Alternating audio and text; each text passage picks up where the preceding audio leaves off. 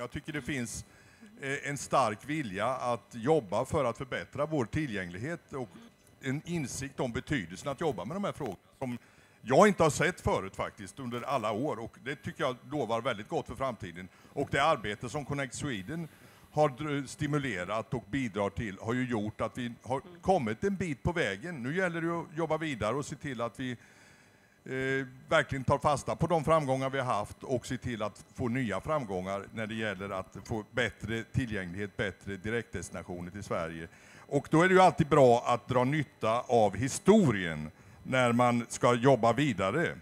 Så att, eh, därför har jag forskat lite i detta och går tillbaka till eh, en eh, känd resenär som sa så här.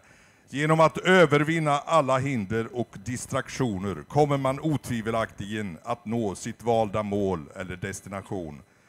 Det var ingen mindre än Kristoffer Columbus som sa detta. Det kan ju vara vägledande ord för det fortsatta arbetet. Stort tack!